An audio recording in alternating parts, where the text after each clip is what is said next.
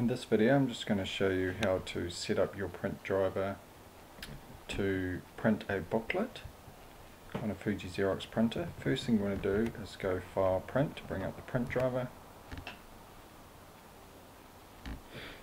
Okay, select the printer that you're wanting to use.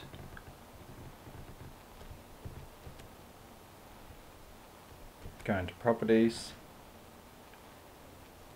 You'll see on this print driver it's got the full finisher here so it will actually fold and staple the booklet. If you don't see this here then your uh, printer will still print the booklet but won't fold and staple. So we want to go into our layout tab, select booklet layout, select booklet creation. Okay, we can either choose just to fold or fold and staple the booklet and make sure you've got booklet layout selected. Uh, the paper that you print on, the size, determines the size of the booklet. So if I choose A3 paper, I'm going to get an A4 booklet, or if I choose A4 paper, I'm going to get an A5 booklet. So we can just press OK there. Okay, if we go to the paper output tab, you'll see that it's already selected two-siding for the booklet. It's going to fold and staple it.